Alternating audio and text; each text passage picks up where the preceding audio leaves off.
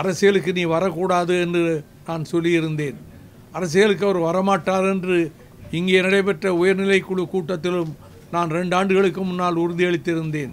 ஆனால் என்னை மீறி எனக்கு தெரியாமல் இப்படி கழக பணிகளுக்கு அவரை பயன்படுத்தி கொண்டு வருவது தெரிந்தபோது எல்லா மாவட்டங்களிலும் அவரை கழகப்பணியாற்ற அனுமதியுங்கள் என்று தொண்டர்களுடைய வற்புறுத்தல் நூற்றுக்கணக்கிலே ஒவ்வொரு மாவட்டத்திலும் சென்ற இடங்களிலே வற்புறுத்த ஆரம்பித்தார்கள். அவருக்கு வாய்ப்பு வழங்க வேண்டும் என்று நூற்றி நான்கு வாக்குகள் கிடைத்திருக்கின்றன. இரண்டு வாக்குகள் வாய்ப்பு வழங்க வேண்டாம் என்று ரெண்டு வாக்குகள். ரெண்டு வாக்குகள் வாய்ப்பு வழங்க வேண்டாம் என்றும் நூற்றி நாலு வாக்குகள் அவருக்கு வாய்ப்பு வழங்க வேண்டும் என்றும் முடிவு செய்யப்பட்டதால் பெரும்பான்மை கருத்துப்படி கட்சி பணி ஆற்றுவதற்கு அவருக்கு வாய்ப்பு வழங்குவதென்று அது நியமன பதவிதான். அதை பொதுச் செயலாளரை நியமிக்கலாம். நான் கருத்து கேட்க வேண்டிய அவசியமே கிடையாது. இந்த வாக்கெடுப்பு நடத்த வேண்டிய அவசியமே கிடையாது. பொதுக்குழு தான் தேர்வு செய்யும். தலைமை கழக செயலாளராக அவர் நியமனம் செய்யப்பட்டிருக்கிறார்.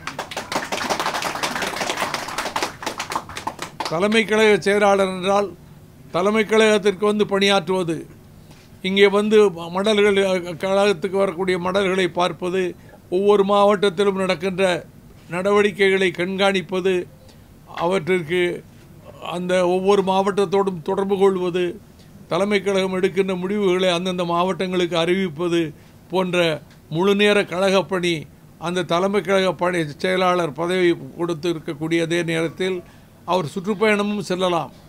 சுற்றுப்பயணத்துக்கும் சென்று வரலாம்.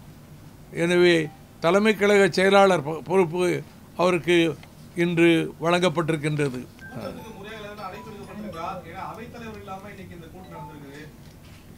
அவர் வரல அவ்வளவுதான். அதான் அதை அதுக்கு என்ன செய்ய முடியும்? அவர் வரல. அவர் வரல. இன்னைக்கு கூட்டத்துக்கு வரல. அவருக்கு அழைப்பு அவர் தலைமையில் நடைபெறும்னு சொல்லி அறிவிச்சிருக்கிறோம். அவர் வரல. வரலைங்கும் போது பொதுச் செயலாளருக்கு அந்த அதிகாரம் வந்துடுது இந்த இது வாரிசு அரசியலே கிடையாது. கட்சி தொண்டர்கள் விருப்பப்பட்டார்கள்.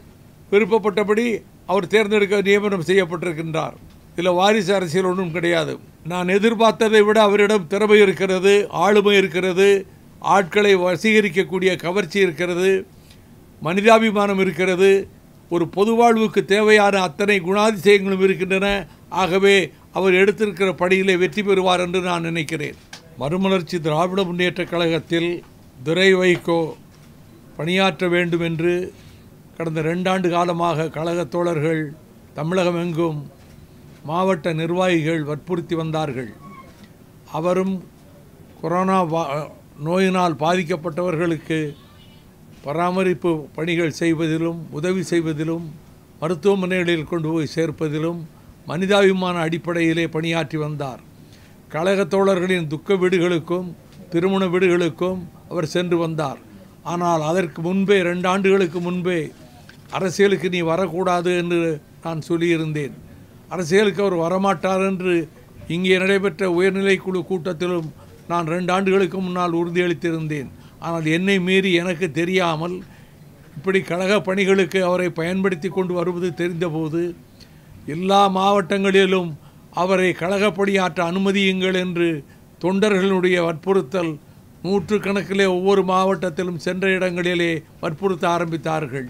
அப்படியென்றால் தொண்டர்களுடைய தியாகத்தினாலே இந்த கட்சி உருவானது. தொண்டர்களுடைய விருப்பப்படி முடிவெடுப்பதா என்ன செய்வது என்ற ஒரு திகைப்புக்கு நான் ஆளாக நேரிட்டது. அதன் காரணமாக இன்றைக்கு இந்த கூட்டத்தை கூட்டி மாவட்ட செயலாளர்கள் உயர்நிலைக் குழு உறுப்பினர்கள் அரசியல் ஆலோசனை குழு உறுப்பினர்கள் ஆட்சி மன்ற குழு உறுப்பினர்கள் அரசியல் ஆய்வு மைய உறுப்பினர்கள் கொண்ட இந்த கூட்டத்தை கூட்டி இந்த கூட்டத்திலே முடிவெடுப்பது என்று முடிவு முடிவு செய்யப்பட்டது. அதன்படி வாக்கெடுப்பு நடத்துவது என்று முடிவு செய்தோம். நான் ஒருவன்தான் வாக்கெடுப்பு நடத்த வேண்டும் என்று நானும் இன்னொரு தோழரும் தான் வற்புறுத்தினோம். மற்றவர்கள் வா வாக்கெடுப்பு வேண்டாம். அவர் அவருக்கு கட்சியிலே பொறுப்பு கொடுங்கள். அவர் பணியாற்றட்டும் என்று உரத்த குரலிலே சொல்ல ஆரம்பித்தார்கள். ஆனாலும் கூட நான் இது வருங்காலத்தில் இது வரலாறாக பதிவாகிவிடும் என்ற காரணத்தினால் இது வாக்கெடுப்பு நடைபெற்று அது ரகசிய வாக்கெடுப்பாக நடைபெற்று எத்தனை பேர் எப்படி ரகசிய வாக்கெடுப்பிலே அவருக்கு வாக்களித்தார்கள் என்பதை பதிவு செய்ய வேண்டும் என்பதற்காக இந்த வாக்கு பெட்டிகளை தயார் செய்தோம். இந்த வாக்கு பெட்டிகளை தயார் செய்து இதிலே வாக்குச்சீட்டு இதில் மறுமலர்ச்சி திமுக பணிகளாற்ற திரு துரை வைகோ அவர்களுக்கு வாய்ப்பு வழங்க வேண்டும். இது முதல் கட்டம். ரெண்டாவது கட்டம். வாய்ப்பு வழங்க வேண்டாம். இது ரெண்டாவது கட்டம். இதிலே அவர்கள் கோடிட்டு விட்டால் வாய்ப்பு வழங்க வேண்டுமா வேண்டாமா என்று அவர்கள் முடிவெடுத்து விடலாம். பின்னாலே அமைப்பு செயலாளருடைய கையெழுத்தும் அமைப்பு செயலாளருடைய கட்சியினுடைய முத்திரையும் இதிலே பதிப்பிக்கப்பட்டிருக்கிறது வாக்குச்சீட்டிலே. இதிலே நூற்றி ஆறு வாக்குகள் பதிவாகின பதிவான வாக்குகள் நூற்றி ஆறு. இதில் அவருக்கு வாய்ப்பு வழங்க வேண்டும் என்று நூற்றி நான்கு வாக்குகள் கிடைத்திருக்கின்றன. இரண்டு வாக்குகள் வாய்ப்பு வழங்க வேண்டாம் என்று ரெண்டு வாக்குகள். ரெண்டு வாக்குகள் வாய்ப்பு வழங்க வேண்டாம் என்றும் நூற்றி நாலு வாக்குகள் அவருக்கு வாய்ப்பு வழங்க வேண்டும் என்றும் முடிவு செய்யப்பட்டதால் பெரும்பான்மை கருத்துப்படி கட்சி பணி ஆற்றுவதற்கு அவருக்கு வாய்ப்பு வழங்குவது என்று அது நியமன பதவிதான். அதை பொதுச் செயலாளரை நியமிக்கலாம். நான் கருத்து கேட்க வேண்டிய அவசியமே கிடையாது. இந்த வாக்கெடுப்பு நடத்த வேண்டிய அவசியமே கிடையாது. பொதுக்குழு தான் தேர்வு செய்யும். நியமன பதவிகள் எல்லாமே பொதுச் செயலாளர் நியமனம் செய்யலாம். அதற்கு முழு அதிகாரமும் சட்டத்திட்ட விதிகளின்படி கழக சட்டத்திட்ட விதிகளின்படி நானே நியமனம் செய்யலாம்.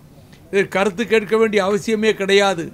இருப்பினும் இந்த கருத்து கேட்டு இந்த கருத்திலே பெரும்பான்மை க- ஆன கருத்து அவருக்கு வாய்ப்பு வழங்க வேண்டும் என்று முடிவு வந்த பின்பு நான் அவருக்கு என்ன பொறுப்பு நான் நியமனம் செய்ய நியமனம் செய்ய வேண்டும் என்கிற போது தலைமை கழக செயலாளராக அவர் நியமனம் செய்யப்பட்டிருக்கிறார்.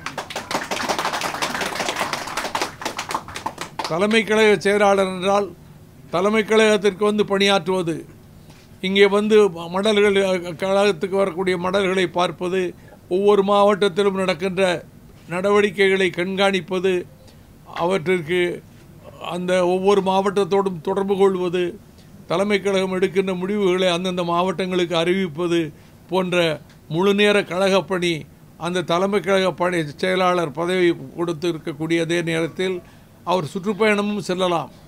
சுற்றுப்பயணத்துக்கும் சென்று வரலாம். எனவே தலைமை கழக செயலாளர் பொ- பொறுப்பு அவருக்கு இன்று வழங்கப்பட்டிருக்கின்றது இந்த முடிவு அப்படிங்கிறது தொண்டர்களுடைய கட்சி நிர்வாகிகளுடைய விருப்பமா அல்லது உங்களுடைய வயோதிகம் காரணமாக நீங்க எடுத்த முடிவா? நான் ஒன்றும் வயோதிகம் ஒன்றும் இல்லை. நான் உங்களை விட இளமையாக இருக்கேன்.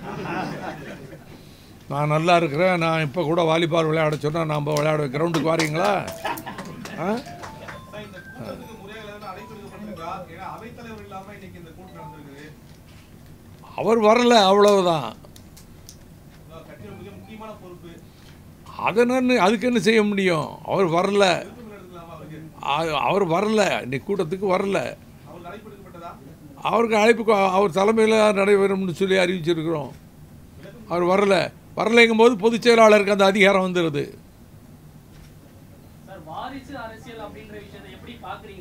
இது வாரிசு அரசியலே கிடையாது. கட்சி தொண்டர்கள் விருப்பப்பட்டார்கள். விருப்பப்பட்டபடி அவர் தேர்ந்தெடுக்க நியமனம் செய்யப்பட்டிருக்கின்றார். இதில் வாரிசு அரசியல் ஒன்றும் கிடையாது.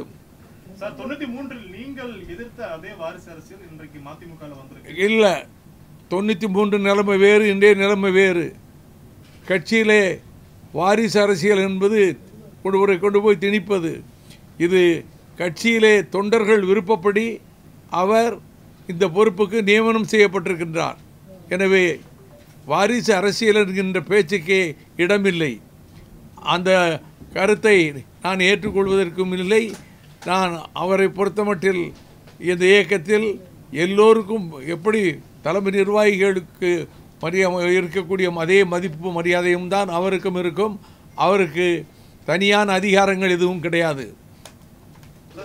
மதிமுக பொதுச் செயலாளரா திரு துரை வையாபுரிய வருவாரா? இல்ல வேறு யாருக்காவது அந்த வாய்ப்பு தரப்படும் அது பின்னாடி பொதுக்குழு கூடி பொதுக்குழு முடிவெடுத்து பொதுக்குழு தேர்வு செய்யும். பொதுக்குழு தான் தேர்வு செய்ய முடியும். அதுக்கு தான் அதிகாரம் இருக்கு. பொதுச் செயலாளர் இந்த பதவியெல்லாம் பொதுக்குழு தான் முடிவு செய்யும். பொதுக்குழு தான் தேர்வு செய்யும் அடுத்த ஆண்டு. அடுத்த ஆண்டு தொடக்கத்தில் அறிவிக்கப்படும். பொங்கலுக்கு பிறகு அறிவிக்கப்படும். பொதுக்குழு எப்பொழுது நடைபெறும் என்று.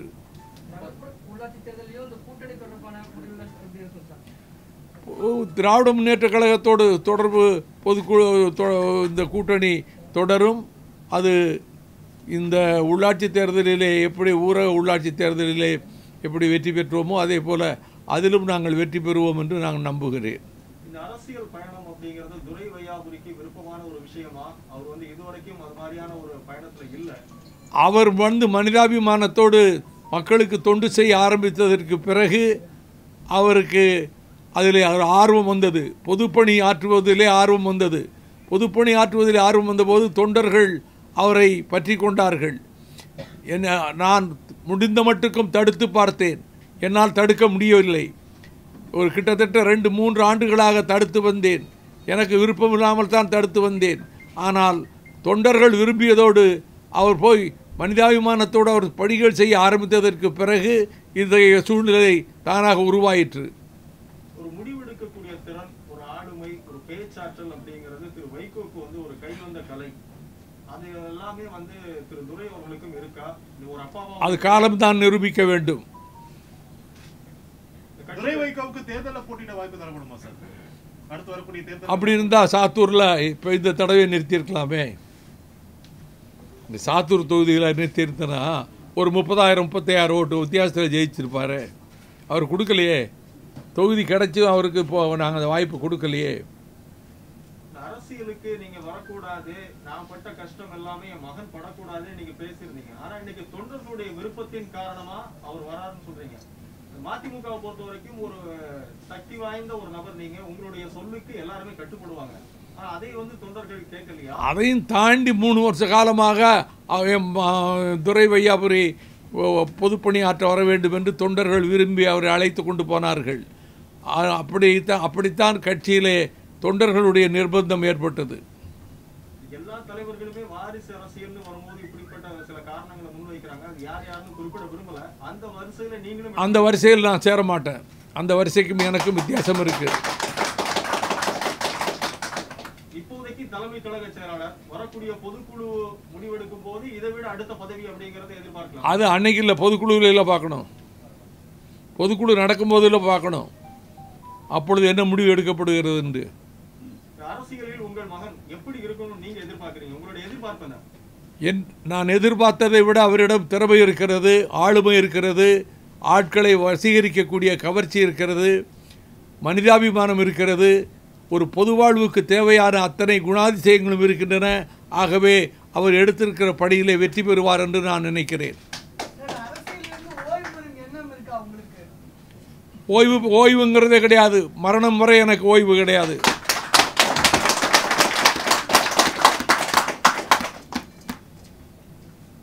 Right.